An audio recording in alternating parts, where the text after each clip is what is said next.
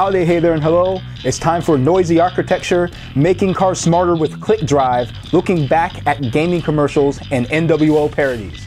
I'm your host, Montez McCrary, the PractitioNERD, and welcome to episode 91 of WIRed, bringing you the nerdy geekery in architecture, technology, video games, and professional wrestling.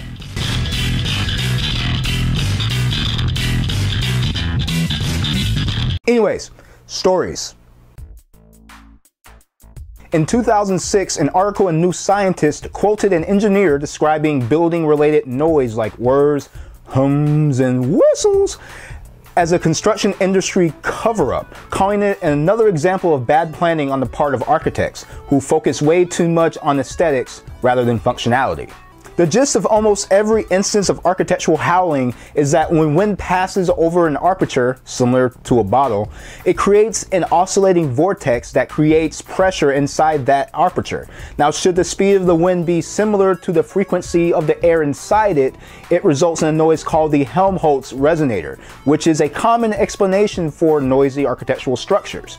There also exists an Eolian tone, another aural phenomenon that occurs when wind passes over a sharp edge, such as a louver or wire. And I, I know, cover up secrets, explanations that expose it using science and physics. I think it's time for architecture to face the music as we scream the internet's favorite word conspiracy! The ClickDrive drives to be the first open platform gadget to connect all driving apps and aftermarket monitors together as one. This little black box plugs into an adapter underneath your steering wheel and it allows you to run several apps at the same time from either your smartphone, on the device itself, or by using its cloud platform. Founders Mark Sutherland and Rishi Saraswat built ClickDrive with the same engineering principles applied to low latency, high performance trading systems and expect initial adopters of ClickDrive to be car and tech enthusiasts as well as people who wish to reduce their carbon emissions. So it's currently compatible with almost every car on the road right now today and its apps allow for monitoring breakdowns, maintenance and locations, secure and record uh, car data, and matching fuel efficiency based on driving habits. At this time, it's unknown what will come of the device, no, should it not make its Indiegogo goal. But the idea that this could make practically any other car out there just as smart as the newer built cars who have this stuff built in should change the on-road classroom curve.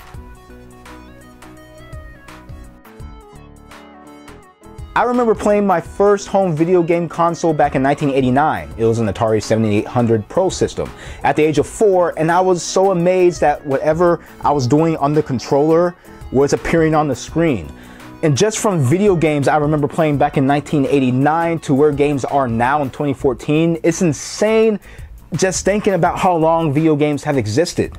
However, it's more terrifying regarding how long video games have existed as a whole. You know, thanks to the internet being this resource that's never heard of closing time, open all the doors and let you out into the world. It's easy to look up some old video game commercials. So I present to you over at thepractitionerd.com a video playlist I created of 26 video game commercials dating back to the days of the Magnavox Odyssey to the PlayStation 4.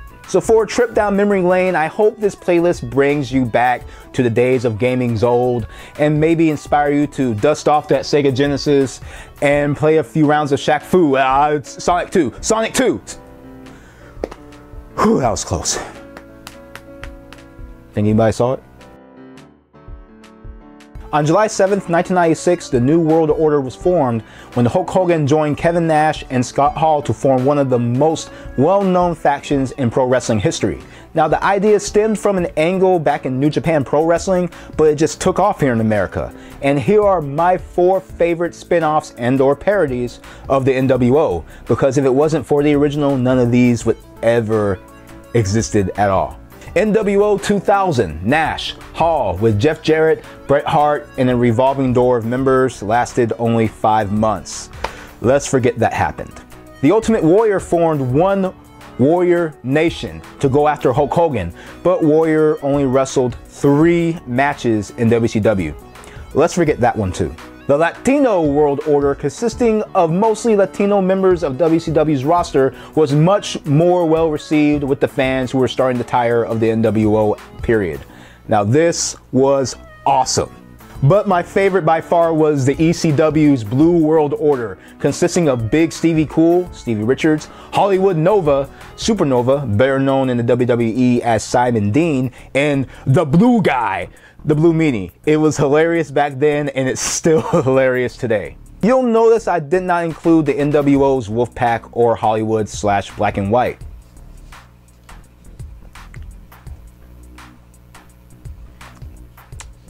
You're right. But thanks for tuning in, everybody. Please like, love, share the video, add to your favorites, subscribe to the PractitioNERD channels on Blip, YouTube, and iTunes.